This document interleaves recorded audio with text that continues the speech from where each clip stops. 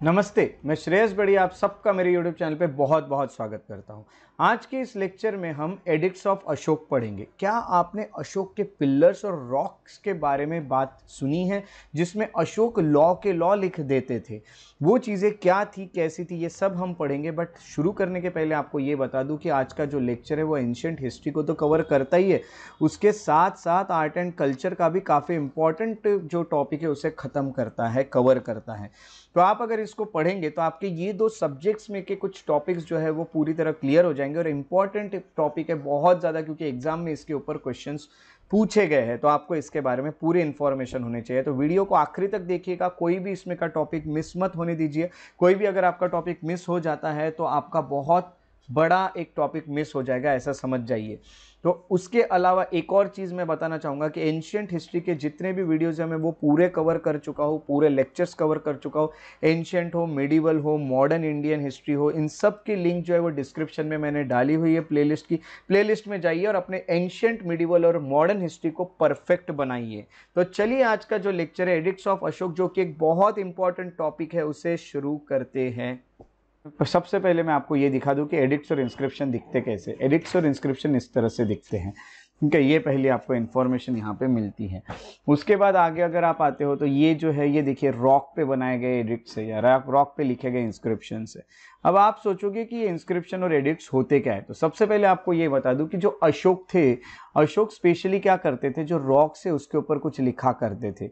या फिर मैं कहूँगा कि जो पिलर से उसके ऊपर कुछ लिखा करते थे, जो अशोक थे वो। तो अशोक ये सब जब चीज़ें लिखा करते थे तो इसका मीनिंग क्या है इंस्क्रिप्शन और एडिक्ट्स का?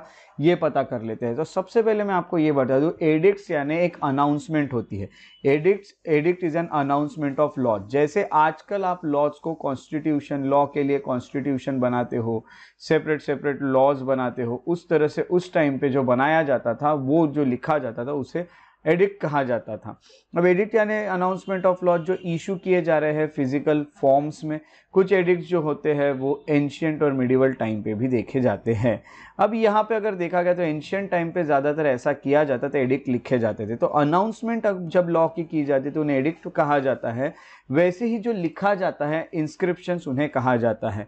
यानी इंस्क्रिप्शन जो होती है, वो राइटिंग होती है। यानी कि ऐसी कार्विंग्स होती है कार्व्ड ऑन हार्ड मटेरियल जैसे कि वुड पे आपने कुछ कार्विंग्स की रॉक पे की स्टोन पिलर्स पे की मेटल्स पे की टेंपल के वॉल्स पे की, ये सब जो कार्विंग्स आप करते हो, जैसे आपने इन यहाँ पे के जो फिगर्स है, इस पर आप देख रहे हैं कि रॉक पे की गई है कुछ कार्विंग्स और ये जो लिखे हैं, ये लिखे हुए चीज़ों को इंस्क्रिप्शन और एडिक्ट्स कहा जा रहा है। एडिक्ट्स इसलिए क्योंकि अनाउंसमेंट ऑफ़ लॉ है और इंस्क्रिप्शन इसलिए क्योंकि कार्विंग्स की गई है। उस तरह से रॉक पे जैसे की जाती है कार्विंग्स वैसे ही पिलर्स पे भी की जाती थी। तो अशोक जो थे, वो पिलर्स पे और रॉक पे इस तरह की कार्विंग्स किया करते थे। तो आपको यहाँ पे मीनिंग पता चल चुका है एडिक क्या होते हैं और इंस्क्रिप्शन क्या होते हैं उसका। अब हम जब आगे बढ़ते हैं तो सबसे पहले देखने मिलता है कुछ टर्म्स तो कुछ basic terms related to this inscription and edicts जो हम पढ़ने वाले उसमें पहली टर्म आती है एपिग्राफी एपिग्राफी यानी ये जो इंस्क्रिप्शन लिखे गए थे, उनको स्टडी करना। दूसरा आता है फिलोलॉजी फिलोलॉजी यानी जो लैंग्वेज लिखी गई है, वो ओरली बोली गई हो या रिटर्न हो हिस्टोरिकल टेक्स्ट में, उसकी स्टडी करना उस लैंग्वेज की, उसे फिलोलॉजी कहा जाता है। तीसरा आता है पैलियोग्राफी पैलियो मीन्स ओल्ड हम कह सकते हैं। तो ओल्ड जो आएगा वो सो डेसिफरिंग और डेटिंग द हिस्टोरिकल मैन्यूस्क्रिप्ट जो भी मैन्यूस्क्रिप्ट लिखी गई है हिस्टोरिकल इसको डेसिफर करना, इसको समझना, इसको पढ़ना, उसे कहा जाता है, हम कहेंगे वो चीज़ों को पैलियोग्राफी या फिर स्टडी करना एंशियंट राइटिंग सिस्टम को। ये पैलियोग्राफी होने के बाद अष्टपालिका कौन थे? तो अष्टपालिका जो थे वो ऑफिसर इंचार्ज थे। जो अकाउंट्स और रिकॉर्ड्स रखे जाते थे एंशियंट इंडिया में, उनके इंचार्ज जो रहा करते थे, जिन भी चीज़ों के, उसको अष्टपातालिका कहते थे। तो अष्टपातालिका ये टर्म आपको यहाँ पे एक और पता चलती है। अब ये हो गई कुछ टर्म्स जितने भी हमने देखी, कुछ कंसेप्ट जैसे कि पहला था आपका एपिक एडिक दूसरा था इंस्क्रिप्शन तीसरा था एपिग्राफी चौथा था फिलोलॉजी फिफ्थ वन आपको जो देखने मिलता है palaeography and six one is अष्टपातालिका। अष्टपातालिका, यहाँ तक के आपके टर्म्स कंप्लीट होती है। अब चलिए इंपॉर्टेंस देखते हैं इंस्क्रिप्शन का। ये जो इंस्क्रिप्शन लिखे जा रहे हैं, क्या ये सच में बहुत ज़्यादा इम्पोर्टेंस है? इनका क्या महत्व है और क्या नहीं? ये जान लेते हैं। तो ये जो इंस्क्रिप्शंस लिखे जाते हैं, वो बहुत ज़्यादा इम्पोर्टेंस रखते हैं और रेलेवेंस भी है हिस्टोरियंस के लिए, क्योंकि इंस्क्रिप्शन से आपको काफ़ी सारी कहानियाँ पता चलती है स्टोरीज पता चलती है, जो भी इवेंट्स हुए हैं, है ना? जो भी इवेंट्स दैट हैव ऑकर्ड उसके इन्फॉर्मेशन आपको प्रोवाइड करते हैं ये इंस्क्रिप्शन चाहे वो सोशल इन्फॉर्मेशन हो, चाहे इकोनॉमिक एक्टिविटीज़ हो, किसी भी पीरियड में उनकी फ़ूड हैबिट कैसी थी, यानी आप हिस्ट्री के बारे में कुछ भी जानना चाहते हो, उनके ट्रेड के बारे में साइंस के एंड टेक्नोलॉजी के बारे में रिलीजन के बारे में तो ये सब इंस्क्रिप्शन से पता चल सकता है। क्योंकि पहले अगर ये भी मान के चला कि पहले पेजेस नहीं थे लिखने के लिए तो ये लोग कार्विंग्स करते थे। वो कार्विंग्स किसी भी चीज़ पे करते थे स्टोन पे करते थे वॉल पे करते थे तो इंस्क्रिप्शंस हमें इंफॉर्मेशन तो देती है। तो पहला पॉइंट से हमें ये पता चलता है कि काफ़ी सारी हिस्ट्री के बारे में इंफॉर्मेशन मिल रही है और लिखा जिसने है ये कार्विंग्स इंस्क्रिप्शन जिसने लिखे है, वो उसी वक्त का रूलर होता है, उसने ये लिखे होते हैं। तो इंस्क्रिप्शन जो होते हैं, ये बहुत ज़्यादा एक्यूरेट होते हैं और ऑथेंटिक सोर्स है, जिससे आप हिस्ट्री के बारे में जान सकते हैं। तो ये एक बहुत अच्छा सोर्स बन जाता है हिस्टोरियंस के लिए। ताकि वो जो भी चेंजेस आए, जो भी ट्रांजिशंस हुए हैं एंशंट और मिडिवल टाइम्स में हिस्ट्री में, उसको भी जान सकते हैं। इंस्क्रिप्शंस कभी काफ़ी बार देखे जाते हैं कि अलग अलग लैंग्वेजेस में लिखे जाते हैं। इंस्क्रिप्शंस में अलग अलग भाषाएँ यूज़ होती है। उससे हमें पता चलता है कि जो वेरियस डायनेस्टीज थी हिस्ट्री में, वो कौन सी लैंग्वेज यूज़ किया करती थी। और उसके अलावा हम नई नई लैंग्वेजेस भी सीख सकते हैं। एपीग्राफर्स जो होते हैं, वो एपीग्राफ यानी जो स्टडी आप कर रहे हो, है ना इंस्क्रिप्शन से, उससे आप नई नई लैंग्वेजेस भी सीख सीख सकते हो। तो आपके लिए नई नई अपॉर्चुनिटीज़ भी ओपन हो जाती है कि आप नए लैंग्वेज सीख सको। तो देखिए इंस्क्रिप्शन का कितना ज़्यादा इंपॉर्टेंस यहाँ पे होता है। तो इंस्क्रिप्शंस का इंपॉर्टेंस तो बहुत अच्छा आपको देखने मिलता है। उसी के साथ साथ अब एडिक्ट अशोक के आते हैं। तो अशोक जो होते हैं, वो अनाउंसमेंट ऑफ़ लॉज या इंफॉर्मेशन कुछ दिया करते थे, इसीलिए उसको एडिक्ट कहा जाता है। और वो पिलर्स पे या रॉक पे लिखा करते थे, इसलिए उनको इंस्क्रिप्शंस कहा जाता है। तो एडिक्ट और इंस्क्रिप्शन अशोक के लिए जो है वो एक ही है। अगर हम यहाँ पे अशोक के रॉक और पिलर्स के ऊपर के एडिक्ट्स की बात करें तो हम सबसे पहले ये बता दूँ आपको कि एडिक्ट जो होते हैं रॉक और पिलर पे, अशोक के, उसमें अराउंड थर्टी थ्री इंस्क्रिप्शंस मिले हैं पिलर पे एज वेल एज बोल्डर्स पे। और अगर हम देखें तो केव वॉल्स पे से लेके हर चीज़ पे आपको देखने मिलते हैं। थर्टी थ्री इंस्क्रिप्शंस का कलेक्शन अशोक के एडिक्ट्स में। अगर हम देखेंगे तो मौर्यन एम्पायर में ये जो टाइम रहा है अशोक का 268 बीसी से 3 232 बीसी में था, जिस वक्त अशोक ने ये सब एडिक्ट जो है ये लिखे थे। ये जो इंस्क्रिप्शन थे, ये हम कहेंगे कि काफ़ी सारे अगर हम देखेंगे तो इधर उधर फैले हुए हैं देश में। ऐसा नहीं है कि एक ही जगह पे है। तो ये हम कहेंगे dispose throughout the country यहाँ पे आप देख सकते हैं कितने अलग अलग जगह पे इनके आपको एडिट्स और पिलर्स देखने हैं। पूरी लोकेशन है जो आपको देखने मिलती है। तो अलग अलग जगह पे आपको पिलर्स और ये सब देखने मिलते हैं। ये देखने के अलावा ये भी देखने मिलता है कि बुद्धिज़्म अशोक के वक्त था। अशोक खुद बुद्धिज़्म को फॉलो करते थे। एडिट ये भी डिस्क्राइब करते हैं कि अशोक के व्यूज़ क्या थे। किस बारे में? तो धम्म के बारे में। धम्म जो है, वो जो अशोक ने बनाया था अपना लॉ एंड ऑर्डर से रिलेटेड जो धम्म था अशोक का, जो धर्म था अशोक का, उसके बारे में यहाँ पे लिखा जाता है, अशोक के धम्म के बारे में, जिसमें अशोक कहते थे कि आपने कैसा रहना चाहिए। जैसे एक एग्ज़ाम्पल में हम देखेंगे तो यहाँ कहा जाता है कि आपने अपने टीचर्स और पेरेंट्स के रिस्पेक्ट करनी चाहिए, आपने टॉलरेंस रखना चाहिए। ये सब अशोक के धम्म यानी पॉलिसी में रहा करता था। है ना? तो ये सब चीज़ें हमें देखने मिलती हैं अशोक के धम्म पॉलिसी में और ये अशोक की धम्म पॉलिसी हम एंशियंट हिस्ट्री में डिस्कस भी कर चुके हैं, जो अशोक के अशोक वाला जो हम कहेंगे टॉपिक है, जो हम मौर्यन एम्पायर में पढ़ रहे थे, उसमें अशोक का धम्म भी हमने पढ़ा है। तो ये सब चीज़ें आपको ये ज़रूरी है, वो सब लेक्चर्स देखना भी। जो ये सब चीज़ें आपको जानने के लिए, ये होने के साथ साथ जेम प्रिंसेप एक व्यक्ति है, जिन्होंने डेसिफर किए हैं अशोक के जो एडिक्ट्स है उसको।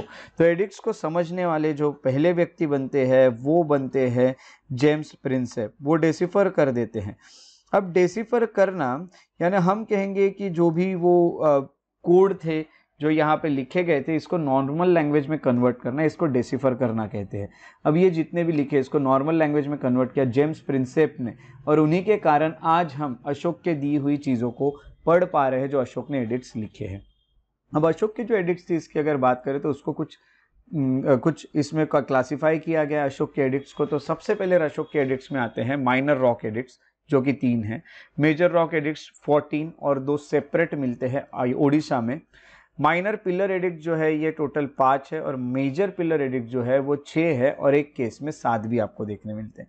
तो ये कैसे है, क्या है, ये सब चीज़ें अभी आप आगे आगे पढ़ोगे तो आपको क्लियर होते जाएगी। सबसे पहले मैं आपको ये बता दूँ कि कांदाहार जो है, कांदाहार में बायलिंगल रॉक इंस्क्रिप्शन मिला है। अब बायलिंगल यानी हम कहेंगे कि सबसे पहले देखो कि एक भाषा में नहीं लिखा है, काफ़ी अलग अलग भाषाओं में, यानी दो भाषाओं में लिखा हुआ है, दो लैंग्वेज में लिखा हुआ है, कांधार में जो रॉक इंस्क्रिप्शन है उसमें, एक है ग्रीक वाली लैंग्वेज और एक है एरामिक लैंग्वेज तो इन दो लैंग्वेजेस में लिखा गया है कांधार का। जो हम कहेंगे इंस्क्रिप्शन है, वो जो टेंथ ईयर ऑफ़ रीन में लिखा था अशोक के, यानी 260 बीसी के अराउंड इसे लिखा गया था, जिसको हम कहेंगे पहला नोन इंस्क्रिप्शन ऑफ़ अशोक, जो हमें देखने मिलता है कांधार में। कांधार जो आता है, वो अगर हम इसको लोकेट करें तो कांधार इधर साइड आता है। यहाँ पे आपको देखने मिलता है, जहाँ पे दो लैंग्वेजेस में लिखा है रॉक पे। तो यहाँ पे अगर हम आगे आते हैं तो हम ये देख सकते हैं कि एक एक जो क्लासिफिकेशन हमने की है उसको एक एक पढ़ने की शुरुआत करते हैं। तो सबसे पहले हम माइनर रॉक एडिट से शुरू करते हैं। माइनर रॉक एडिट की अगर बात करें तो आपको ये बता दूँ कि माइनर रॉक एडिट जो है, वो अर्लीस्ट पार्ट है। अशोक जो भी एडिट्स लिखा करते थे, उसमें सबसे पहले जो लिखा करते थे, वो माइनर रॉक एडिट्स बन जाते हैं। इसमें अगर देखा गया तो अशोक के मेजर रॉक एडिट्स के पहले के है ये माइनर रॉक एडिट्स क्योंकि पहले ये लिखे जाते थे। और आपको ये भी बता दूँ कि ये अशोक के, हम कहेंगे they were written early quite early in the reign of Ashoka. अगर हम देखेंगे तो eleventh year of his reign जो है, उसी वक्त लिखे गए थे। यानी हम कहेंगे two and half year at least after Kalinga conquest तो आपको पता है कलिंगा में जब उन्होंने वॉर लड़ा तो उसके बाद उन्होंने जो अपनी एग्रेसिव पॉलिसी थी उसको ख़त्म कर दिया और वो एक तरह से धम्मा पॉलिसी पे आ जाते हैं पीसफुल पॉलिसी पे आ जाते हैं पेसिफिस्ट बन जाते हैं। तो वॉर ऑफ़ कलिंगा जो हुआ था कलिंगा के युद्ध के बाद, अगर हम देखें तो कलिंगा के बाद अशोक जो थे अशोक ने हम कहेंगे कि अपनी जो पॉलिसीज़ है वो बदल दी थी और उसके लगभग ढाई साल बाद, यानी टू एंड हाफ़ ईयर्स के बाद, ये जो माइनर रॉक एडिक्ट है, ये लिखने की शुरुआत उन्होंने की थी। तो छोटे मोटे जो रॉक एडिक्ट्स अशोक लिखा करते थे, उसमें क्या लिखा हुआ करता था? अशोक के रिलीजियस एफिलिएशंस क्या क्या है ना? रिलीजन में वो क्या क्या मानते हैं या कौन से रिलीजन को जगह देते हैं? रिलीजन के बारे में क्या विचार रखते हैं? है ना by presenting himself as a disciple of Buddha तो वो हाँ क्लियरली लिखते हैं कि मैं बुद्ध का ही भक्त, उनका शिष्य हूँ, ये लिखते हैं, और वो कहते हैं कि उनका जो ऑर्डर है, जिसको संघ कहा जाता है कि आपने ऐसा करना चाहिए, वैसा करना चाहिए, जो ऑर्डर होता है, उसी को मैं फॉलो भी करता हूँ। इंस्क्रिप्शन जो होता है, वो इस टाइप के माइनर रॉक एडिक्ट्स के इंस्क्रिप्शन मेजरली अगर हम देखेंगे तो प्राकृत भाषा में लिखे हुए हैं। तो चलिए अब कुछ डिटेल्स देख लेते हैं अबाउट माइनर रॉक एडिक्ट अगर डिटेल्स की हम बात करें तो सबसे पहले हमें ये देखने मिलता है कि एडिक्ट नंबर वन में अशोक ये लिखते हैं कि मैं एक बुद्धिस्ट लेमैन बन चुका हूँ। बुद्धिस्ट लेमैन बनने का उनका मन मीनिंग होता है कि मैं उपशक बन चुका हूँ या फिर शका बन चुका हूँ। यानी अभी मैं संघ के पास पास आ रहा हूँ। अभी तो मैं बुद्धिज़्म को जानना शुरू किया। यानी बुद्धिज़्म में मैं धीरे धीरे एंटर होते जा रहा हूँ। दूसरे एडिक्ट में अशोक लिखते हैं कि जो भी धम्म होता है, उसमें कितने पुण्य की बातें हैं जो आपने फॉलो करनी चाहिए, जिससे आपको बहुत पुण्य मिलेगा। ये चीज़ें लिखते हैं एडिक्ट टू में। एडिक्ट थ्री में अशोक लिखते हैं कि पूरी की पूरी लिस्ट वो रिकमेंड करते हैं कि कौन कौन से बुद्धिस्ट स्क्रिप्चर्स आपने पढ़ने चाहिए, जो बुद्धिस्ट मंग जो है वो रिपीटेडली स्टडी करते हैं। वो आपने भी पढ़ने चाहिए। वो कहते हैं कि मुझे बुद्ध में, धम्म में और संघ में, जो बुद्धिस्ट बुद्धिज़्म के अगर कहेंगे तो त्रिरत्न, तीन, त्रिरत्न यानी तीन ज्वेल्स है थ्री ज्वेल्स है, जो हमने बुद्धिज़्म में पढ़े थे, उन सब पे अब उन्हें विश्वास हो चुका है और वो इसे बहुत ज़्यादा मानने लगे हैं। ये अशोक कहते हैं और वो लिखते भी है कि कौन कौन से स्क्रिप्चर्स आपने फॉलो करने चाहिए। तो ऐसे तीन एडिक्ट जो है, वो अशोक हमें बताते हैं इन माइनर रॉक्स के थ्रू अगर इनकी लोकेशन देखी गई तो इनकी लोकेशन आपको देखने मिलती है बहापुर न्यू दिल्ली में। आपको ये पूरी लोकेशंस अपने मैप्स पे मार्क करनी है। और उस पर हेडिंग भी लिखना है अपने मैप का। हेडिंग वो रहेगा कि locations of minor rock edict पहला आपको देखने मिलता है, वो है बहापुर न्यू दिल्ली में। दूसरा आता है मस्की कर्नाटक में। उसके बाद अहरौरा करके जो है वो उत्तर प्रदेश में गावीमठ करके जो है कर्नाटक में, गुज्जर करके जो है मध्य प्रदेश पालिकी गुंडू हम कहेंगे पालकी गुंडू इन कर्नाटका, रूपनाथ इन मध्य प्रदेश, निठुर इन कर्नाटका पांगुरारिया इन मध्य प्रदेश और सासाराम इन बिहार उड़ेगोलम इन कर्नाटक बैरत इन राजस्थान, ब्रह्मागिरी इन कर्नाटक, येरागुड्डी इन आंध्र प्रदेश सिड्डागिरी इन आंध्र कर्नाटका राजुला माडगिरी मंडगिरी इन आंध्र प्रदेश जटिंगा रामेश्वर इन कर्नाटक इतने जगह पे आपको अशोक के रॉक एडिट्स देखने मिलते हैं। यानी आप देख रहे हैं कि अशोक का किंगडम कितना बड़ा था। ऐसे इतने बड़े किंगडम में अलग अलग जगह पे आपको ये एडिट्स देखने मिलते हैं। जिस तरह से इस मैप में मार्क किया है ये रागोडी और ये सब जो जो यहाँ मार्क भी नहीं है, वो आपको पूरे अपने ब्लैंक मैप्स पे मार्क करना है। वहाँ पे क्या क्या टाइटल देना है, ये आपको पता चलता है। तो ये जो तीन प्रकार के जो चीज़ें लिखी है, जो माइनर रॉक एडिट पे, वो आपको देखने मिलती हैं इन लोकेशंस पे। तो ये जो लोकेशन है, यहाँ पे आप विज़िट करोगे तो आपको वहाँ पे रॉक्स मिलेंगे कुछ। जैसे कि यहाँ पे मैंने आपको एक पिक्चर दिखाया था, इस तरह के कुछ रॉक्स रखे रहेंगे। ये रॉक को तो प्रिजर्व करके रखा है, कुछ बना के। ये ओपनली रखे जाते थे अशोक के टाइम पे। तो ऐसे आपको रॉक्स दिखेंगे और उस रॉक्स पे आपको कुछ कुछ लिखा हुआ मिलते जाएगा माइनर रॉक एडिट और माइनर रॉक एडिट में जो मेनली आपको जो मेजरली आपको जो इंस्क्रिप्शन दिखेंगे, वो प्राकृत इस, इसमें दिखेंगे लैंग्वेज में। ओके सो ये आपको यहाँ पता चलता है। इसके बाद, अब यहाँ पे आपको ये भी बता दूँ, ये जो तीनों एडिक्ट आपने देखे, इसमें जो थर्ड एडिक्ट है is only present in the Calcutta Bairat edict common as known as Bhabru edict इसको भाबरू एडिक्ट भी कहा जाता है। अब इसमें भी आपको बताता हूँ कि अब इतने तीनों में से जो तीसरा है, ये दोनों तो हर जगह देखने मिल रहे हैं, जो बट जो तीसरा है ना, वो सिर्फ़ आपको एक ही जगह देखने मिल रहा है भाबरू एडिक्ट यानी वो सिर्फ़ थर्ड वाला आपको जो देखने मिल रहा है कैलकाटा बायरट के रीजन में देखने मिल रहा है वेयर अशोक ये कहते हैं कि he was full he has full reverence and faith in the Buddha यानी देखिए, ज़्यादा डेप्थ तक जब वो चले गए थे, वो वाला आपको तीसरा एक ही जगह पे देखने मिलता है, जिसमें बुद्ध, धम्म और संघ के बारे में अब हर चीज़ जानने लगे और वो पूरा विश्वास भी रखते हैं, ये अशोक बताते हैं। अब ये जितने भी लोकेशंस है उसमें, उस इंस्क्रिप्शन या लोकेशंस जितने भी मैंने बताए तो इंस्क्रिप्शन जैसे कि कांदाहार बिलिंग ये जो हो गया, कांदाहार, ये बायलैंग्वेल है। ये मैं आपको पहले भी बता चुका हूँ, जैसे कि ग्रीक और अरमाइक में ये होता है। Aramaic inscription of Laghman Aramaic inscription of Takshashila and Barabar caves inscription are sometimes include under minor rock edicts of Ashoka ये भी कभी कभी यहाँ देखने मिलता है। यानी अरमाइक जो भाषा है लैंग्वेज है, उसकी वो यूज़ करते थे और काफ़ी जगह देखने मिला है। कांधार में देखने मिला है, लगमन में देखने मिला है, या फिर हम कहेंगे कि तक्षशिला में देखने मिला है, या बराबर केव्स में देखने मिला है। तो काफ़ी जगह अरमाइक भाषा का भी यूज़ करते हुए अशोक देख रहे हैं। हाँ हाँ बोलिए।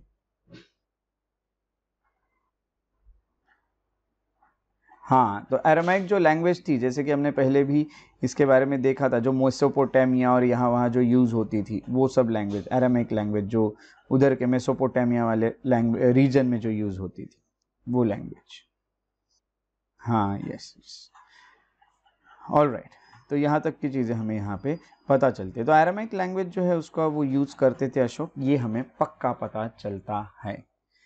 ऑल राइट सो so, याद रखेगा एरामिक लैंग्वेज जो होती है ये जो लैंग्वेज है ये हम कहेंगे कि ये लैंग्वेज मेसोपोटामिया और उसके आसपास के रीजन में बोली जाती है वहाँ की ये लैंग्वेज होती है। चलिए उसके बाद हम आते हैं कि कुछ minor rock edicts minor rock edicts तो हमने देख लिए अब हमने माइनर के बाद आना है मेजर रॉक एडिट्स पे। अब हम कुछ मेजर रॉक एडिट्स देख लेते हैं। सॉरी माइनर रॉक एडिट्स में हम सबसे पहले और भी चीज़ें पढ़ लेते हैं। All right right. तो यहाँ पे जैसे हमने देखा था कि माइनर रॉक एडिट्स में कि आपको तीन देखने मिल रहे हैं minor rock edicts okay so ये तीन आपने माइनर रॉक एडिट्स जो है उसको देखा और आपने ये भी देखा कि तीसरा वाला जो है वो काफ़ी सारे जगह पे आपको प्रेजेंट नहीं दिखता है बट तीसरा वाला एक ही जगह पे आपको प्रेजेंट दिख रहा है। अब आगे क्या होता है कि ये जितनी भी हमने लिस्ट देखी तो उसमें आपको काफ़ी सारे देखने मिलते हैं। अब अब अगर हम लोकेशंस पे आते हैं तो लोकेशन पे अगर आप देखोगे अच्छे से तो लोकेशन में कुछ इंपॉर्टेंट है बहुत ज़्यादा। अब देखिए इंपॉर्टेंट सभी है, ऐसा नहीं है। किसी किसी पे डिटेल में आपको स्टडी करना पड़ता है। जैसे एक मस्की का हो गया। इस लोकेशन में और दूसरा जो आपको स्टडी करना होता है डिटेल में वो गुज्जर का हो गया। तो गुज्जर का और मस्की का ये हमें कुछ इंपॉर्टेंट है जो उसको ज़्यादा स्टडी करना है। तो इन दोनों को हम थोड़ा डिटेल में स्टडी करेंगे। बाकी की आपको लोकेशन भी पता रही तो भी चलता है। तो कुछ इंपॉर्टेंट जो आ, हम कहेंगे कि रॉक एडिट्स है उसमें एक होता है गुज्जर माइनर सॉरी जो माइनर रॉक एडिट्स है उसमें एक होता है गुज्जर माइनर रॉक एडिट जो कि मध्य प्रदेश में है। अब ये जो माइनर रॉक एडिक्ट है, ये अगर हम कहेंगे तो यहाँ पे तो गुज्जर में माइनर रॉक एडिक्ट वन लिखा गया है। वन में आपको पता है कि अशोक क्या क्या कहते थे। अशोक ने सिर्फ़ खुद को बुद्धिस्ट लेमैन बताया है है ना? और वो संघ के पास पास आ रहे ऐसा वो लिखते हैं। तो ये जो आपको देखने मिलता है, ये गुज्जर में आपको देखने मिलता है। और नेम ऑफ़ अशोक जो होता है, वो क्या कहा जाता है पता है? देवनम पिया पिया दासी। अशोक राज ऐसा नाम दिया है गुज्जर माइनर रॉक एडिक्ट पे। तो यहाँ पे अशोक का नाम एक्सप्लेन किया जा, जो लिखा जाता है, वो आता है देवनम पिया पियादासी अशोक राजा ये होता है। दूसरा जो हमें जो इम्पोर्टेंट एक पता चलता है, वो है मस्की माइनर रॉक एडिक्ट। अगर यहाँ पे मस्की की बात की जाए तो मस्की जो है, वो रिवर पे है। तो ट्रिब्यूटरी है मस्की, तुंगभद्रा रिवर की। तुंगभद्रा की ट्रिब्यूटरी है मस्की, और ये जो मस्की रिवर है, इसी पे आपको ये माइनर रॉक एडिक्ट रॉक रखा हुआ दिखता है जिसपे अशोक ने कुछ लिखा है। इसमें क्या लिखा जाता है? इंस्क्रिप्शन में लिखा जाता है कि धर्म शासन।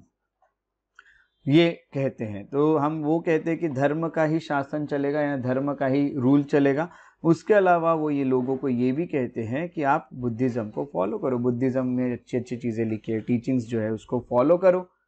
ये जो इंस्क्रिप्शन है, वो ये भी कहते हैं कि स्प्रेड ऑफ़ मौर्यन रूल जो है, वो कृष्ण वैली तक भी था। यानी यहाँ पे इस रिवर तक वो पहुँच गए, यानी कृष्ण वैली तक उनका जो रूल है वो हमें आसपास देखने मिल ही रहा है।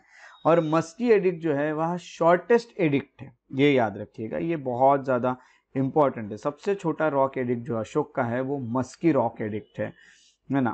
और वो भी किसमें? माइनर रॉक एडिक्ट में बड़े बड़े इसमें नहीं, सबसे माइनर में सबसे छोटा जो है, वो है शॉर्टेस्ट वाला, जो इसमें बहुत कम चीज़ें लिखी है। और ये भी कह सकते हैं कि it was the first edict of Ashoka जिसमें क्या है कि अशोक का नाम लिखा है है ना? In it instead of earlier edict that जिसमें उनका नाम देवनम पिया पियादासी लिखा है। ये पहला एडिक्ट है अशोक का जिसमें उनका नाम अशोक लिखा है। पहले इसमें आप बा, बाकी इसमें आपने देखा देवनम पिया पियादासी अशोक अशोक राज ऐसा नाम लिखते थे। तो ये जो मस्की इंस्क्रिप्शन है ये इतना इम्पोर्टेंट क्यों है? क्योंकि यहाँ पे अगर देखा गया तो हम कहेंगे कि association of the title that is Devanampiya with Ashoka अब देखिए, अब जैसे मैंने कहा कि it was the first edict of Ashoka that contains the name of Ashoka in it instead of earlier edict that is that refer to him as Devanampiya Piyadasi अब आपको यहाँ पे ये पता चलता है कि देवनम पिया पियादासी अशोक जो है, अब हिस्टोरिकली ये मस्की को अगर आप देखोगे, अगर आप इसको, इसमें गुज्जर को देखोगे, गुज्जर में लिखा है देवनम पिया पियादासी अशोक राज, और मस्की इंस्क्रिप्शन जो है वहाँ पे आपको ये पता चलता है कि ये जो टाइटल है देवनम पिया का, वो अशोक के लिए ही होगा, क्योंकि एक इसमें अपना नाम उन्होंने अशोक लिखा है, एक इसमें अपना अपना नाम उन्होंने देवनम पिया पियादासी लिखा है। तो यहाँ से पता चलता है कि देवनम पिया जो है, ये कोई अलग रूलर नहीं था ये अशोक खुद थे और अशोक का ये टाइटल था, क्योंकि उन्होंने पहले तो अपने इसमें अशोक लिखते थे, फिर धीरे धीरे उनको टाइटल मिला होगा, इसलिए उन्होंने देवनम पिया लिखा है अपने नाम के सामने। पहले लोगों को ये लगता था कि देवनम पिया पिया दासी जो है, वो कोई और राजा है, जो श्रीलंका के आसपास रूल करता था, क्योंकि श्रीलंका के जो क्रॉनिकल्स होते हैं क्रॉनिकल्स होते श्रीलंका के, महावामश और दीपवामशा, उसमें देवनम पिया पिया दासी लिखा है। तो हमें पहले लगता था हिस्टोरियंस की कि वो कोई रूलर होगा तो ये पिलर्स से ही हमें पता चलता है कि वो अशोक ही थे जो श्रीलंका तक भी पहुँच गया था उनका धम्म। ये इंफॉर्मेशन हमें ये दो पिलर्स देते इसलिए गुज्जर और मस्की, ये दोनों बहुत इंपॉर्टेंट रॉक एडिक्ट्स माने जाते हैं। तो ये थे आपके कुछ माइनर रॉक एडिक्ट्स जो आपने यहाँ पे पढ़े। अब माइनर रॉक एडिक्ट्स के बाद अगर हम आते हैं तो उसके बाद हमें जो देखने मिलते हैं, वो है कुछ मेजर रॉक एडिक्ट्स अब मेजर रॉक एडिक्ट्स जो है, ये टोटल 14 है। 14 मेजर रॉक एडिक्ट्स जो है, इसमें बड़े बड़े हैं ये। जैसे मैंने बताया, यहाँ पे टोटल 14 है और forming a group which is duplicated with only slight variation in 10 known locations है ना? तो 10 लोकेशंस में आपको देखने मिलते हैं और थोड़ा थोड़ा डिफरेंस के साथ ही देखने मिलता है। ऐसा लगता है कि सभी सभी सेम है।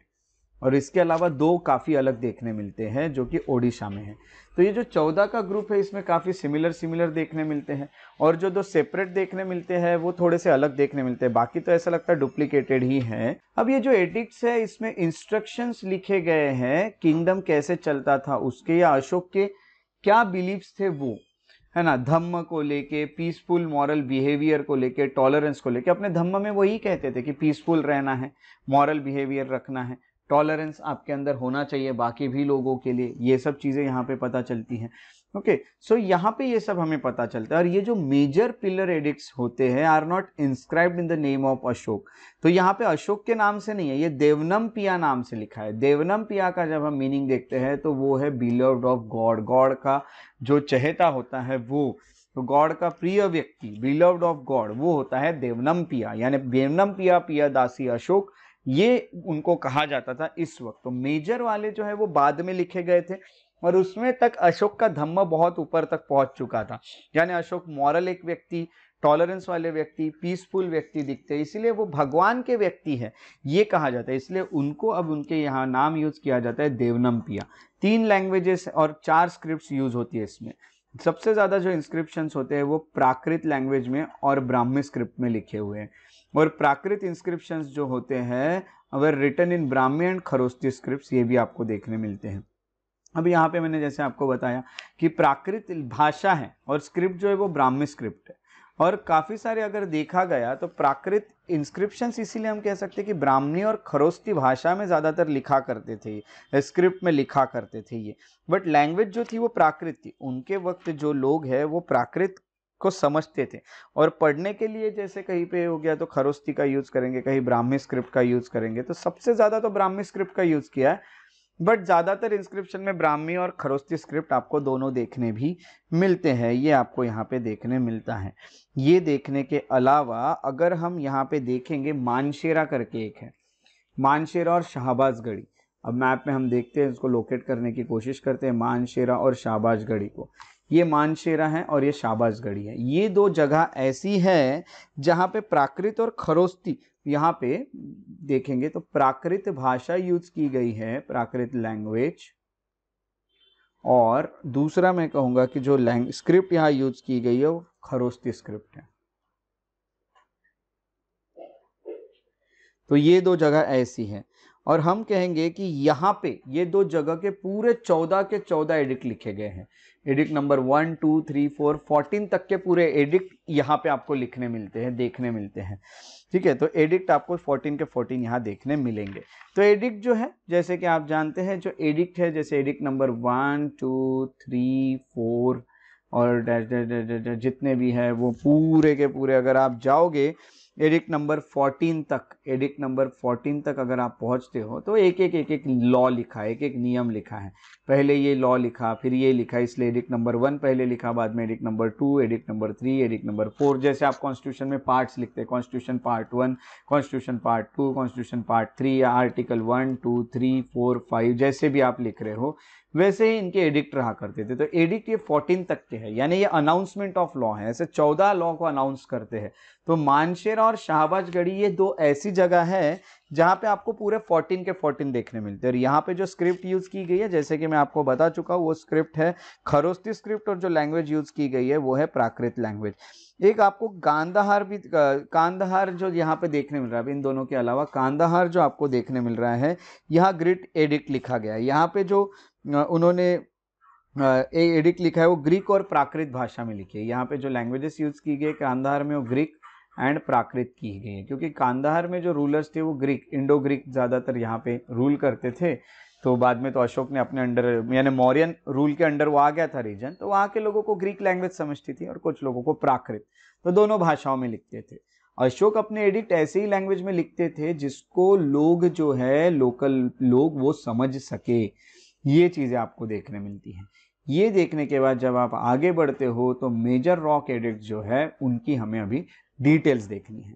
तो जैसे मैंने आपको बोला एडिक्ट जो है वो एक एक एक एक एक, एक इस पे लिखते थे। यानी हम कहेंगे कि edict number one two three four five six seven eight nine ten eleven twelve thirteen fourteen ऐसे चौदह एडिक्ट उन्होंने लिखे हैं। पहले एडिक्ट में वो क्या कहते हैं? रूल नंबर वन लॉ क्या अनाउंस होता है कि एनिमल के स्लॉटर खत्म किए जाएँगे। जानवरों को मारा नहीं जाएगा। जानवरों की किलिंग्स बंद कर दी जाएगी। Edict number two care for man and animal care करना है मैन की और एनिमल्स की। दोनों की केयर की जाएगी मेरे रूल में। ये अशोक कहते हैं। एडिक्ट नंबर थ्री कहते हैं कि जो ब्राह्मण्स होते हैं, उनके साथ हम जेनरस रहेंगे। अच्छे तरह से उनके साथ बिहेव किया जाएगा, उनको सब चीज़ें दी भी जाएगी प्रोवाइड भी की जाएगी। ये है एडिक्ट नंबर थ्री यानी अनाउंसमेंट ऑफ़ लॉ ऐसा भी कह सकते हो आप law number three law number four या एडिक्ट नंबर फोर इम्पैक्ट क्या होगा धम्म का सोसाइटी पे? कितना अच्छा इम्पैक्ट होगा ये बताते अशोक। धम्म में सब अच्छी चीज़ें लिखी हैं। उसके लिए उन्होंने धम्म घोष जो है is ideal to mankind not bheri ghosh dhamma ghosh यानी पीसफुल पॉलिसी बेरी घोष यानी एग्रेसिव पॉलिसी वॉर करना अटैक करना ये बेरी घोष होता है। धम्म घोष यानी अच्छे पीसफुल मेथड से जा, जाना अच्छे धम्म को फॉलो करते हुए जाना। तो आइडियल क्या होगा? धम्म घोष ये लिखा जाता है एडिक्ट फाइव पे। आपको लड़ाइयाँ नहीं करनी है पीसफुल रहना है।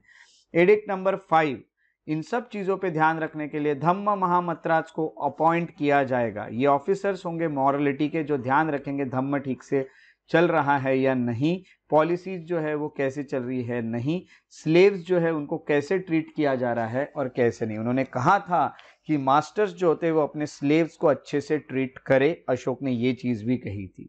एडिक्ट नंबर फोर पे फाइव, सिक्स पे अशोक कहते हैं कि राजा की जो इच्छा है, किंग्स की जो डिज़ायर है है ना to be informed about the condition and affairs of the people at any time and place है ना? मेरी यही इच्छा है कि आप मुझे हर बार इन्फॉर्म करते रहे कि किस तरह से आपकी कंडीशन से और आपके कामकाज किस तरह से चल रहे हैं। आपके साथ सब अच्छा हो रहा है कि नहीं? आपको कैसे ट्रीट किया जा रहा है? कैसे नहीं? ये सब मेरी इच्छा है जानने की।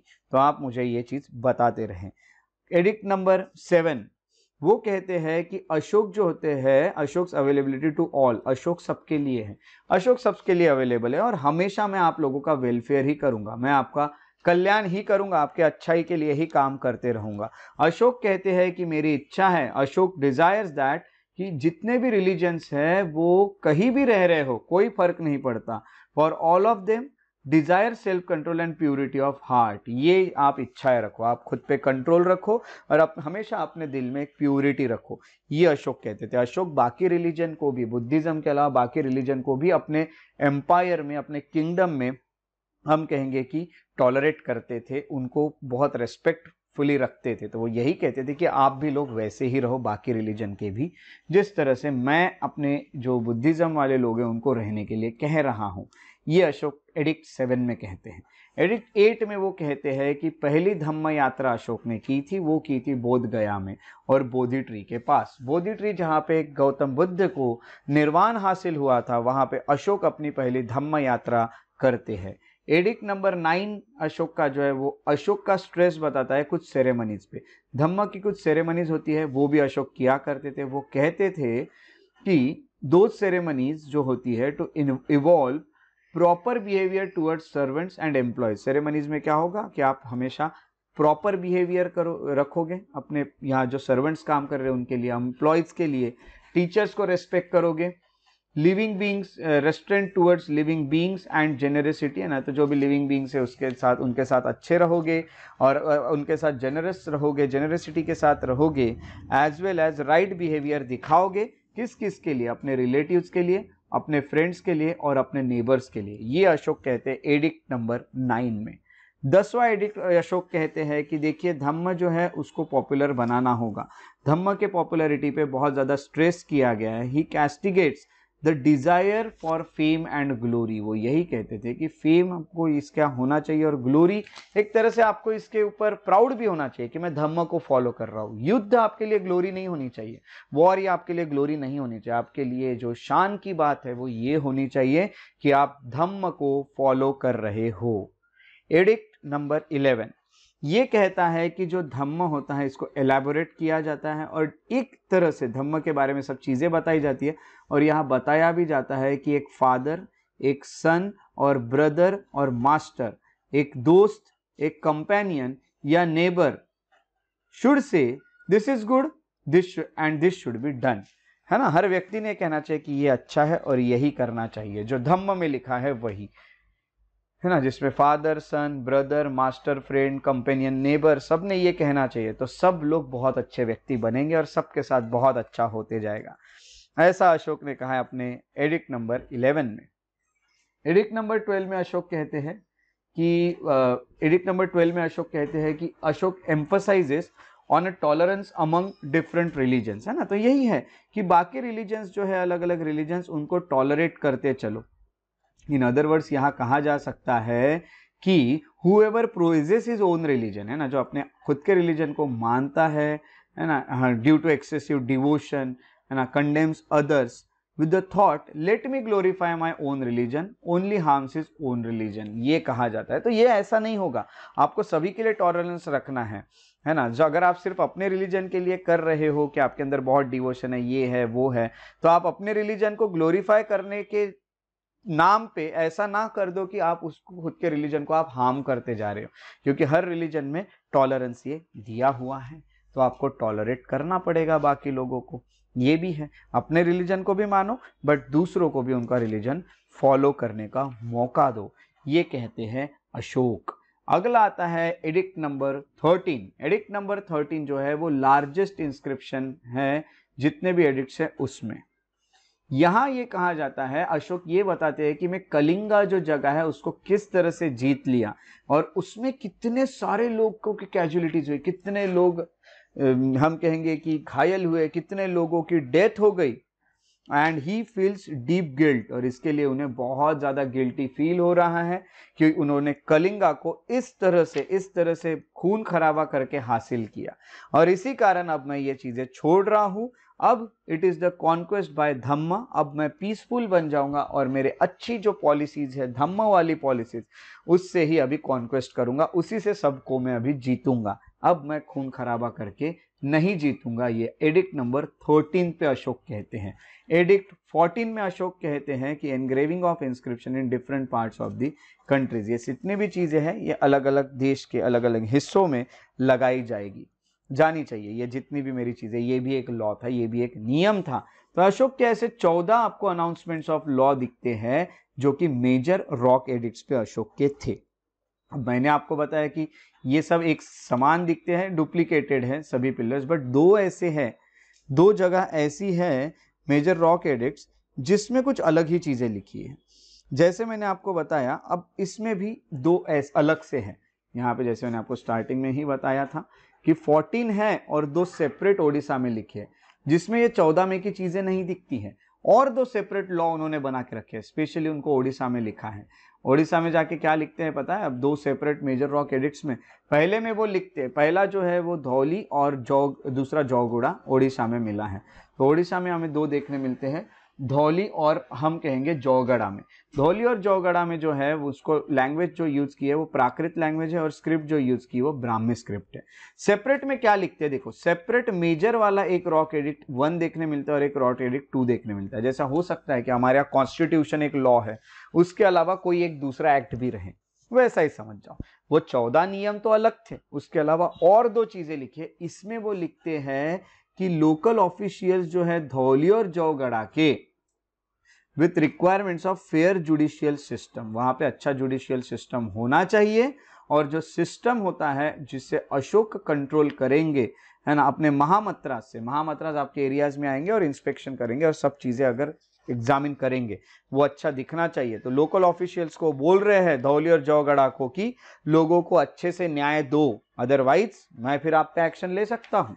इससे पता चलता है कि अशोक कंट्रोल कर रहे हैं, धौली और जौगड़ा को उसके अलावा separate major rock edict two ये कहता है कि जो ऑफिशियल्स है धौली और जौगड़ा के to try to convince unconquered bordering tribes है ना? तो उनको आप जिनको आपने कॉन्कर नहीं किया और आपके बॉर्डर पे जो भी आपको ट्राइब्स देखने मिल रही है, धौली और जौगढ़ा के, उनको आपने क्या करना है? तो उनको सबसे पहले यहाँ पे मैं आपको लोकेशन भी दिखा देता हूँ, यहाँ पे देखिएगा। धौली और जौगड़ा, ये दो। तो इनके जो बॉर्डर पे जो ट्राइब्स आ रहे हैं, जिसको इन्होंने कॉन्कर नहीं किया है, उनके लिए भी कुछ चीज़ें यहाँ पे बताई गई हैं।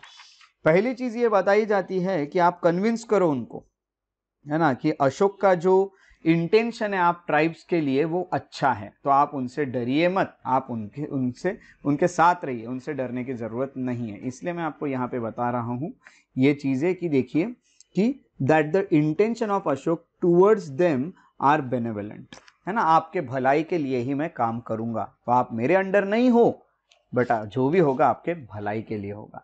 ऐसे दो सेपरेट सिर्फ़ धौली और जौगड़ा के लिए भी लिखते हैं। बाकी जो था वो तो उनके पूरे एम्पायर के लिए एडिक्ट्स थे।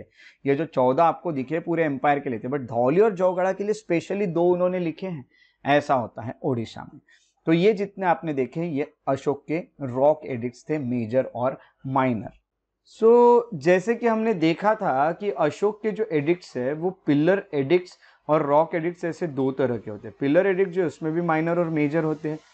पाँच माइनर है छः और एक केस में सात मेजर एडिक्ट्स हैं। पिलर पे जो लिखे गए हैं। अब पिलर पे जो लिखे गए हैं, उसमें अगर देखा गया तो आप जैसे पिक्चर्स देखना चाहते हो तो ये जैसे रॉक एडिट्स है वैसे ये पिलर्स पे लिखा करते थे। ये पूरे एडिट्स आपको देखने मिलते हैं और भी। अब अगर पिलर एडिक्ट्स की देखी जाए बात तो पिलर एडिक्ट्स में भी हमें माइनर और मेजर पढ़ने होते हैं। तो minor pillar edicts of Ashok से शुरुआत करते हैं। माइनर पिलर एडिक्ट्स जो है have been found at pillars of Ashok at Sarnath. Sarnath ये माइनर पिलर एडिक्ट है सारनाथ तो आपने देखा ही है जिसपे सत्यमेव जयते और ये सब भी आपको जहाँ देखने मिलता है, वही पे साची एक है जो आपको देखने मिलता है। प्रयागराज है ये तो सारनाथ यूपी प्रयागराज यूपी साची, मध्य प्रदेश यहाँ देखने मिलता है। तो पहले ये कौशंबी में था तो बाद में इसको लेके भी गए हैं। तो रुमिनी देवी जो है या निगाली सागर जो है, ये भी आपको यहाँ पे देखने मिलते हैं। अब यहाँ पे ये सब जगह पे हमें देखने मिलते हैं इनके माइनर पिलर एडिक्स ये जितने भी माइनर पिलर एडिक्स है, ये कहीं ना कहीं प्राकृत लैंग्वेज में लिखे गए हैं और इसमें जो स्क्रिप्ट यूज़ की गई है, वो ब्राह्मी स्क्रिप्ट यूज़ की गई. ये जितने भी पिलर एडिक्स है, अशोक के हम कहेंगे, जैसे कि हम कहेंगे स्कीजम से रिलेटेड है. स्कीजम यानी warnings of punishment for dissent in the Sangha और ऑर्डर। अगर आप इसमें कुछ चीज़ें तोड़ते हो वॉयलेट करते हो तो आपको उसके लिए पनिशमेंट्स भी दी जाएगी। उसकी भी वार्निंग लिखी गई इन एडिक्ट्स में। उसके अलावा मैं आपको ये भी बता दूँ, ऐसा सांची में आपको एक पिलर देखने मिला है मध्य प्रदेश के, सारनाथ और प्रयागराज में आपको देखने मिला है, जिसमें स्कीजम एडिक्ट भी है। स्कीजम यानी आपको ये पता चला रिलेटेड टू पनिशमेंट या वार्निंग्स ऑफ़ पनिशमेंट अगला अगर देखा गया तो अलाहाबाद का एक पिलर इंस्क्रिप्शन है या पिलर एडिक्ट है, जिसमें आपको एक क्वींस एडिक्ट भी देखने मिलता है, जहाँ पे अशोक अनाउंस करते हैं that the queen should be credited for her gifts है ना? तो क्वीन जो है उसको एक तरह से क्रेडिट मिलना चाहिए, जो भी उसने हमें चीज़ें दी है उसके लिए। ये भी चीज़, यानी क्वीन की भी काफ़ी सारी तारीफ़ आपको करते हुए अशोक दिखते हैं। In other words it refer to charitable deeds of Ashoka's queen Karuvaki और कौरवकी और हम कहेंगे कि the mother of prince Tivala ये थी। अब यहाँ पे हम कहेंगे कि थिवला करके जो प्रिंस था, उसकी मदर वो है कौरवकी। कौरवकी जो है, ये अशोक की एक क्वीन थी और काफ़ी बार ऐसा भी कहा जाता है कि अशोक की, अशोक को जो सबसे ज़्यादा पसंद थी, वो कौरवकी ही थी। तो कौरवकी ने जो अच्छी चीज़ें की है, उसके बारे में भी अलाहाबाद पिल्लर पे लिखा है। तो वो क्वींस एडिक्ट भी आपको देखने मिलता है कि क्वीन क्या चाहती है। तो इस तरह से माइनर पिल्लर एडिक्ट्स आपको अशोक के कुछ देखने मिलते हैं। अब ये माइनर पिलर एडिक्ट्स में अगर ये बोल दूँ कि रिमेनिंग टू पिलर्स जो एडिक्ट है, जैसे कि रुमिनी देव में है, जो कि नेपाल में और निगली सागर ये भी नेपाल में है, ये कॉमोमरेटिव इंस्क्रिप्शन है। यानी इसकी अगर बात करें तो देखिए, अब जैसे मैंने पहले के आपको कुछ बताया, जिसमें काफ़ी सारी उनके जो चीज़ें लिखी है, वो वहाँ पे दी है कहीं वार्निंग ऑफ़ पनिशमेंट दी है तो कहीं पे क्विन से रिलेटेड कुछ चीज़ें यहाँ पे लिखी है। तो ये जो है, ये कॉमोमरेटिव है ये हमें देखने मिलता है। तो कॉमोमरेट यानी क्या? तो हम कहेंगे कि किसी का रेस्पेक्ट बताना या फिर हम कहेंगे कोई रेस्पेक्ट शो करना या वही है कि सेलिब्रेट करना जो भी आप बोल रहे हो या जैसे हम कहेंगे विक्ट्री है हुई है आपकी वहाँ पे तो वहाँ पे आपने एडिट लगा दिए पिलर लगा दिए तो हम कह सकते हैं कि खुशी मनाने वाले, यानी आपकी विक्ट्री हो गई तो आपने वहाँ पिलर जो है वो उभार लिए पिलर जो है वो बना लिए। ऐसा यहाँ पे ये देखने मिलता है। रुमिनी दी जो पिलर है इंस्क्रिप्शन वो डिस्क्राइब करते हैं कि अशोक जो है वो लिम्बिनी लुम्बिनी के पे आए थे, लुम्बिनी में आए थे and exemption of Lumbini from tax और लुम्बिनी को उन्होंने जो भी कंट्रोल भी किया होगा एक टाइम पे तो उन्होंने ये भी कहा कि हम लुम्बिनी के ऊपर टैक्स नहीं लगाएँगे। तो लुम्बिनी को एग्जामेशन था टैक्स में। लुम्बिनी वो जगह थी जहाँ गौतम बुद्ध का जन्म हुआ था। उसके अलावा निगली सागर पिल्लर इंस्क्रिप्शन जो है, उसमें ये कहा गया है कि अशोक जो होते हैं, उन्होंने जो स्तूप बनाया था बुद्ध का, उसको साइज़ बढ़ा दी थी, जिसकी साइज़ डबल कर दी थी उन्होंने। तो पहले छोटा हुआ करता था स्तूप, फिर उन्होंने स्तूप को बहुत बड़ा बना दिया। तो it doubled his size its size, हम ये यहाँ पे कहते हैं। तो यहाँ पे कहीं बुद्धिज़्म से रिलेटेड तो नेपाल जो है, वो भी कहाँ पे बुद्धिज़्म से रिलेटेड देखने मिलता है। तो यहाँ पे भी आपको रुमिनी देही पिल्लर और निगली सागर पिल्लर, यहाँ पे ये दो चीज़ें देखने मिलती हैं। उसके अलावा मेजर, माइनर में इतने ही। मेजर पिलर एडिक्ट्स की अगर बात करें तो बड़े बड़े जो पिलर एडिक्ट्स है, उसकी लोकेशन जान लेते हैं। उसकी अगर लोकेशन देखी गई तो constitute technically the most elegant inscription made by Ashok. ये तो बहुत ही बहुत अच्छे देखने मिलते हैं। तो there are around seven major pillar edicts ये आपको देखने मिलते हैं। सात लोकेशन जो है, वो है कांदाहार में, दिल्ली टोपरा में, दिल्ली मेरठ में, अलाहाबाद में, लौरिया अराराज करके जो है बिहार में वहाँ, लौरिया नंदनगढ़ करके बिहार में वहाँ, रामपर्व जो है बिहार में वहाँ। तो ये सात लोकेशन है। सात लोकेशन में आपको ये जो लोकेशंस मैंने आपको बताई, ये काफ़ी इंपॉर्टेंट है। आपको मार्क करना अपने मैप्स पे, जैसे कि यहाँ पे आपको की गई है कुछ लोकेशन ये देखिए लौरिया राज यहाँ देखने मिल रहा है रामपुर देखने मिल रहा है रौलिया नंदनगढ़ देखने मिल रहा है। तो इस तरह से यहाँ जो भी मिसिंग है वो आपको यहाँ पे आ, हम कहेंगे कि मार्क यहाँ पे करना पड़ेगा ताकि आपको वो याद भी रहे। तो याद रखना ज़रूरी है जैसा ये कांदाहार यहाँ पे आपको देखने मिल रहा है। कांदाहार में भी है। है ना, यहाँ पे दिल्ली में देखने मिल रहा है, जिसमें दिल्ली टोपरा दिल्ली मीरठ। अब इसको दिल्ली टोपरा और दिल्ली मोरे, मीरठ क्यों कहा जाता है, इसके पीछे के भी रीज़न बताऊँगा बट उसी तरह से आपको ये देखने जो मिल रहे हैं, इसको आप अच्छे से देख लेंगे। तो ये देखने के बाद अब रीज़न आते हैं कि इसको दिल्ली टोपरा क्यों कहा जाता है, या दिल्ली इसको मीरठ क्यों कहा जाता है, इस पिल्लर को, सिर्फ़ दिल्ली क्यों नहीं कहा जाता। तो ऐसा कहा जाता है कि ये जो दिल्ली टोपरा वाला जो पिलर है, वो ओरिजिनली टोपरा में बनाया गया था, हरियाणा में। उसको उठा के ला के दिल्ली में लगाया है। दिल्ली सल्तनत के टाइम पे ऐसी कुछ चीज़ें हुई है। तो वहाँ का पिलर उठा के दिल्ली में ला के रख दिया। वैसे दिल्ली मीरठ वाला जो बताऊँगा तो वो मीरठ में हुआ करता था ओरिजिनली यूपी में। उसको भी उठा के लाया और दिल्ली में शिफ्ट कर दिया। तो इस तरह से शिफ्ट भी हुए। अलाहाबाद का जो पिलर है, ऐसा कहा जाता है कि वो पहले कोशंबी में रहा करता था यूपी में। वहाँ से उठा के उसको इलाहाबाद में लगा दिया गया है। तो ऐसी काफ़ी सारी चीज़ें तब हुई थी। तो ये होने के बाद मैं आपको ये भी कुछ इन्फॉर्मेशन दे दूँ कि one of the above several location जिसमें अगर हम देखें तो डेली टोपरा पिलर जो है, उसमें जितने भी मेजर पिलर एडिक्ट्स है सेवन जो मेजर पिलर एडिक्ट्स है, वो पूरे के पूरे प्रेजेंट है। सात के सात एडिक्ट यहाँ पे प्रेजेंट है। प्राकृत भाषा यूज़ की गई है ब्राह्मी स्क्रिप्ट यूज़ की गई है were used in all location सिर्फ़ अफ़गानिस्तान को छोड़ के। अफ़गानिस्तान को छोड़ के। तो अफ़गानिस्तान में अगर देखेंगे तो हम कह सकते हैं कि कांधार है तो आप आराम से यहाँ पे गेस कर सकते हैं कि आ, कौन से यहाँ पे यूज़ हो सकती है है ना? तो आपको ये लिखना है आपको ये बताना है कि कौन सा हो सकता है वहाँ पे है ना? अफ़गानिस्तान में प्राकृत और ब्राह्मी को छोड़ के। आपका ये वर्क है कि आपको वो ढूंढना है। उसके अलावा लास्ट मेजर पिलर एडिक्ट जो है edict number seven only found on the Delhi Topra pillar यहाँ पे एक टेस्टामेंट करके है, यानी एक समरी करके दी है कि अशोक ने अपने लाइफ में क्या क्या हासिल किया, ये सब चीज़ें लिखी है। लास्ट मेजर पिलर एडिक्ट में एडिक्ट नंबर सेवन में। ये सब अभी एडिक्ट में आपको बताने वाला हूँ तो ये सब तो अभी हम देखने वाले हैं बट आपको एक इन्फॉर्मेशन दे रहा हूँ, जैसे कि हमको यहाँ पे बताऊँगा कि ये जो आखिरी वाला है, आखिरी वाला सिर्फ़ दिल्ली टोपरा में मिला है, और दिल्ली टोपरा ही वो लोकेशन है जहाँ सात के साथ मिले हैं, बाकी जगह सात के साथ नहीं मिले हैं। रामपूर्व करके जो जगह है, वहाँ पे दो मेजर अशोकन पिलर्स मिलते हैं। एक में लायन कैपिटल है और वन विथ बुल कैपिटल यानी एक में लायन बने हुए हैं। आपने जैसे कि सारनाथ का देखा है, चार तरफ़ लायन है, वैसे ही। एक तो एक बुल वाला है बुल कैपिटल तो लायन कैपिटल वाला जो पिलर होता है is inscribed with the major pillar edict one two six इसमें पूरे एक से लेके छः तक लिखे लायन कैपिटल में। बुल कैपिटल पिलर जो इसमें कोई इंस्क्रिप्शन ही नहीं है। तो इस तरह की कुछ चीज़ें देखने मिलती है। यहाँ पे देखिए, मैं आपको ये देखिए, दिल्ली टोपरा पिल्लर।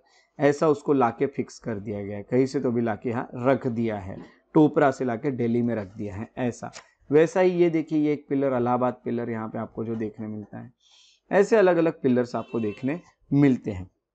तो पिलर पे कौन से एडिक्ट उनके थे, ये देखते हैं। एडिक्ट नंबर वन, अशोक अपने प्रिंसिपल्स लिखते थे, जिससे वो लोगों को प्रोटेक्ट करते थे। एडिक्ट नंबर टू, वो कहते थे कि dhamma as a minimum of sins virtues compassion truthful और प्योरिटी इसमें ये होगा। जिसमें बहुत कम पाप होंगे, पाप नहीं करने हैं अच्छाई यानी पुण्य करने हैं, दया, करुणा रखना है कंपैशन है ना? ट्रुथफुलनेस सच्चाई होनी चाहिए प्योरिटी होनी चाहिए, आप प्योर होने चाहिए, ये चीज़ कहते हैं। तो धम्म में आपको ये पूरी चीज़ें मिलती हैं। ये अशोक ने एडिक्ट नंबर टू में बताया एडिक्ट थ्री, जितने भी सीन हैं जितने भी पाप है हार्शनेस क्रुएल्टी एंगर ये सब खत्म कर देने हैं। Edict number three announcement edict number four duty जो है राजुकाज की, वो क्या होगी, ये उन्हें पता होना चाहिए। राजुकाज जो होते हैं, वो ऑफिसर्स थे। और मैंने आपको बताया भी था कि राजुकाज का काम क्या था, है ना? तो हम ये पढ़े थे जब हम मौर्यन एडमिनिस्ट्रेशन और ये सब पॉलिटी और ये सब वाला लेक्चर अटेंड कर रहे थे। तो आपको वो भी बताना है कि राजूकाज क्या थे, है ना? तो वो भी आपका वर्क है, क्योंकि हम ऑलरेडी पढ़ चुके हैं। मेजर पिलर एडिक्ट फाइव, उसमें एनिमल्स और बर्ड्स को लिखा था उनका नाम, जिनको आप नहीं मार सकते ऑन सम डेज़ कुछ दिनों में उन्हें नहीं मार सकते, जैसा कुछ दिन थे, ये दिन में इसको नहीं मार सकते, ये त्यौहार है तब उसको नहीं मारते थे। और दूसरी लिस्ट लिखी थी, जिनको आप कभी भी नहीं मार सकते। अगला, उन्होंने ये भी बोला था कि लिविंग एनिमल जो है must not be fed with other living animals है ना, यहाँ पे ये चीज़ें भी कही गई हैं। तो जितने भी एनिमल्स हैं, उनको एक साथ नहीं। सबको अलग अलग तरीके से एक से एक रखना चाहिए, जिसको जैसी ज़रूरत है, उस तरह से। तो एनिमल्स के बारे में, केयर के बारे में यहाँ पे लिखा जाता है इन एडिक्ट नंबर फाइव पे।